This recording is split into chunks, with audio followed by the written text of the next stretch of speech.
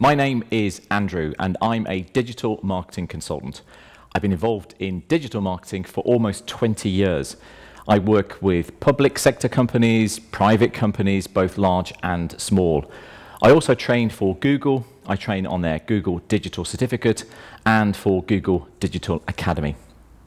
In this course, we'll be talking about social media and how you put together a social media strategy.